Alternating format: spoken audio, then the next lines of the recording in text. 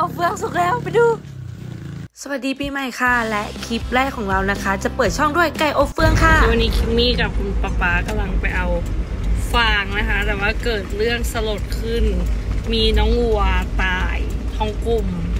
วัวคลอดลูกออกมาไม่ได้ไม่มีใครโซยวันนี้จะไปดูว่าน้องวัวเป็นยังไงบ้างนะคะการมาเฟืองของคิมมี่ก็คือจะผ่านบัตรละหนึ่งกลุ่มค่ะนี่เจอน้องหมาทักทายค่ะน้องใช่ค่ะ ทางที่เรามาเอาก็คือ ป่าช้าเก่าลางวัด แต่ไม่ต้องห่วงว่าจะมีกุ๊กกุ๊กกูนะคะ เพราะเรามากลางวัน และนี่ถึงแล้ว นี่คือบรรยากาศเถียงนาตอนเย็นค่ะ อากาศดีมากเลย นี่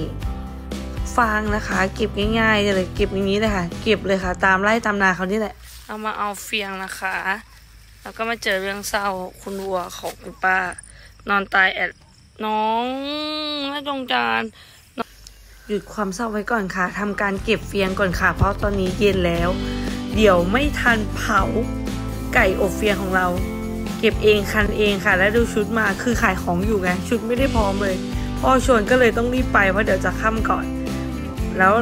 ไก่เกยก็ยังไม่ได้หมักเลยนะคะ แล้วทำการเก็บเฟียงขึ้นรถนอนของเรา เราไก่เผาไก่แค่ตัวเดียวนะคะ แต่เก็บเฟียงไปเต็มรถก็งงเหมือนกันและอันนี้คือลวดน็อกงัวนะคะ แต่เราถามแล้วว่าไม่มี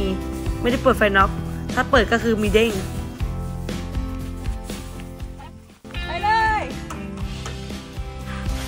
เก็บเฟียงเสร็จแล้วเราจะทำการเดินทางกลับบ้านนะคะไปหมักไก่กันค่ะตอนนี้ก็เป็นเวลาประมาณแล้ว let's ห้า go หกโมงเย็นแล้วค่ะหาอะไรมาตำตำอะไร อะตำรากผักชีค่ะ เอาต้องใส่กล้องด้วยตำเลยใช่ค่ะ คือคนที่บ้านจะเขินกล้องมากจะ มีบ้าๆบอๆคือเรานี่แหก็ละจะมีกระเทียมอะไรนะกระเทียมคิมี่บ้าหรือเปล่า มันคือพริกไทยดำโว้ย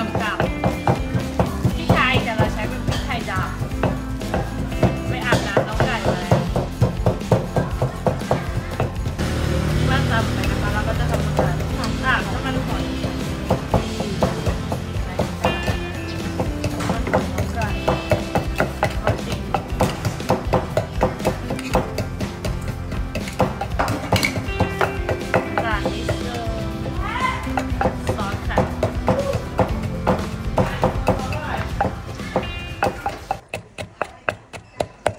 ตามแบบคนที่ใส่ไม่ดีนะคะ ตามแบบหยาบๆ ให้ตามแบบพอหยาบๆไงหยาบแล้วหยาบเลยแค่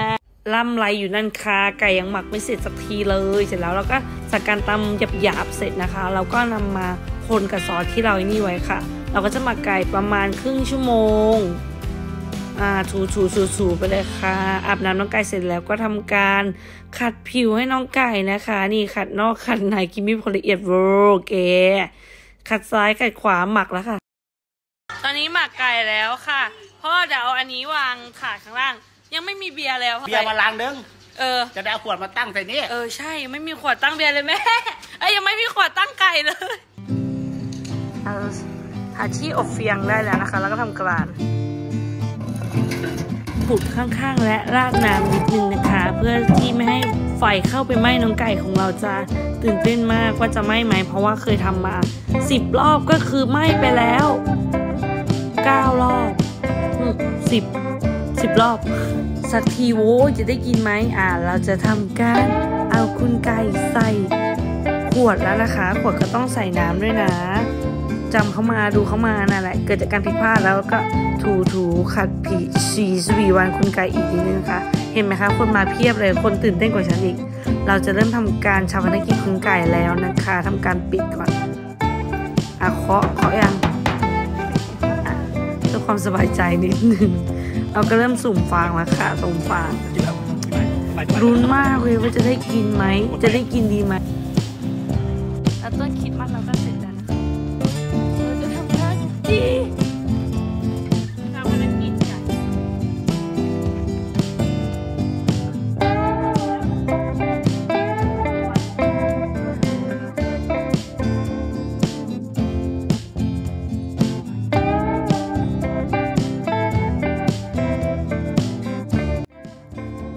เวลาผ่านไปประมาณ 15 นาทีค่ะ เวลาที่เรารอคอยก็มาถึงแล้ว เริ่มมืดแล้วนะคะ เริ่มมืดแล้วสังเกตจากแสง เราก็จะทำรเปิดแล้วค่ะ ให้เขาเขียนแล้วค่ะสังเกตจากคนก็คือ ไม่ใช่ฉันแค่ลุ้นคนเดียวทุกคนก็มาลุ้นกับคิมมี่ด้วย และแล้วก็ถึงเวลาแทมแทมแทมแทมแทมแทมแทม